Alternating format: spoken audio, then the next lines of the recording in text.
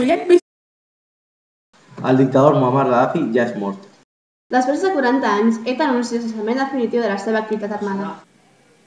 ETA anuncia el cessament definitiu de la seva activitat armada. La banda posa fi a 40 anys de violència amb un total de 829 persones assassinades. tot i que encara no han mencionat l'entrega d'armes. Euskadi Askatasuna, Organización Socialista Revolucionaria Vasca de Liberación Nacional, desea mediante esta declaración dar a conocer su decisión. ETA considera que la conferencia internacional celebrada recientemente en Euskal Herria es una iniciativa de gran trascendencia política. La resolución acordada reúne los ingredientes para una solución integral del conflicto y cuenta con el apoyo de amplios sectores de la sociedad vasca y de la comunidad internacional. El dictador Muammar Gaddafi va morir la setmana passada ja que al revés el van capturar en un salts a Sirte, la seva ciutat natal. Un cop capturat, un tret a la temple el va matar.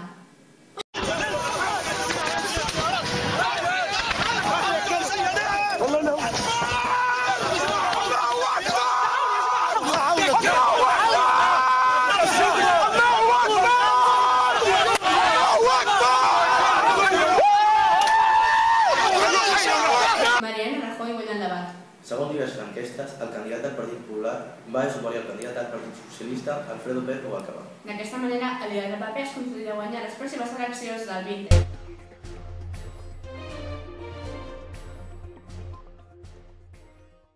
Avui hem sortit al carrer i estem a la Rambla de Barcelona, on les estàtues vivents exerceixen el seu treball.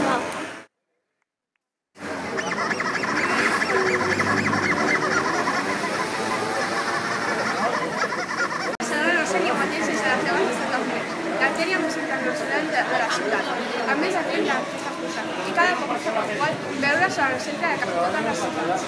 Barcelona treballa de consultori vivent està regularitzada pel consistori des de 2020. Tenen més de 15 llocs assignats per actuar i se'n reparteixen per parelles de dos tons de cissura. Hi ha monstres, personatges famosos, històrics... ¿Cuánto tiempo llevas trabajando en este oficio? Dos años. ¿Fue complicado conseguir los papeles para la licencia?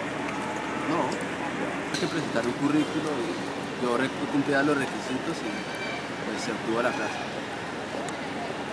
¿Cuánto tiempo tardas en hacer Hago pases de una hora, 45 minutos. y el disfraz? ¿Cómo lo... Traje, Sí. traje se pintó a mano. Todo lo hice yo. ¿Cuánto tiempo tardas en vestirte, Por ahí, eh, por ahí, por ahí una hora. El traje.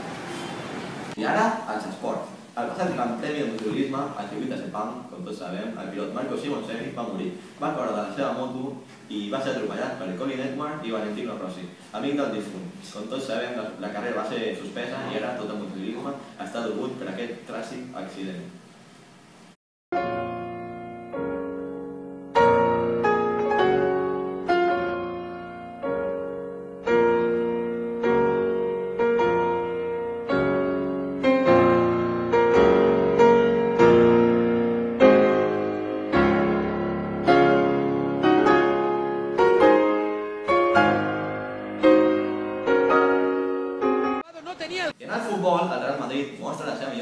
I suma la dècima victòria consecutiva guanyant davant l'Osasuna per un 7 a 1. Es veu que jugar a les 12, aquí de que s'hi va molt bé.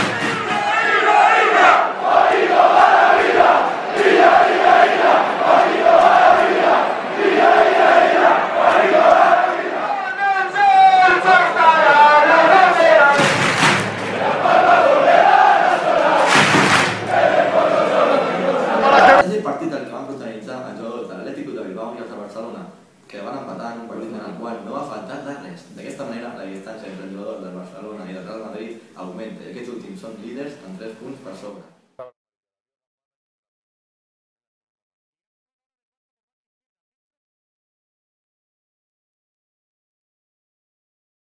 Això és tot per avui, ho deixem amb el temps i a continuació transmitem la pel·lícula de Charlie i la fàbrica de xocolata.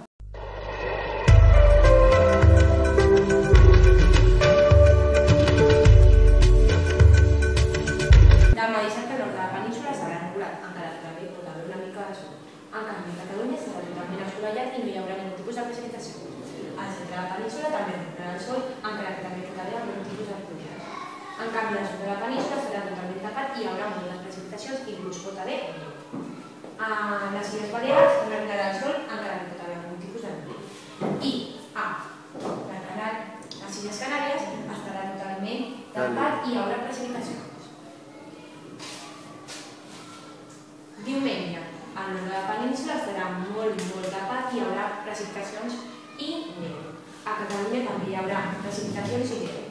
Al centre pot haver molta neu i precipitacions amb un fort vent. I al sud de la península seguirà havent neu i precipitacions amb molt vent i molt poc sol. En, en el millor que pot haver una mica de sol serà a les Illes Balears, encara que també hi haurà pluges, i a les Illes Canàries, que estarà totalment tapat amb una mica de sol Perfecte.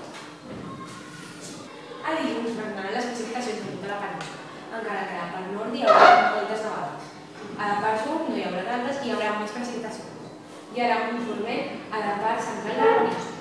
A les Illes Balears hi haurà moltes precipitacions. I a les Illes Canàries mandarà el sol amb núvols i precipitacions.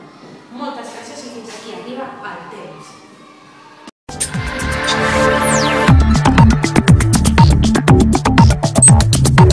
Mollet.